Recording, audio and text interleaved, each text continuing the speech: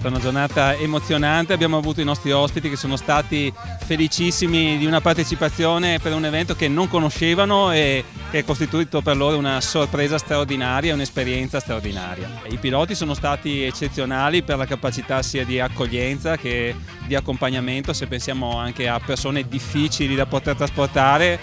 dove loro hanno dimostrato competenza, pazienza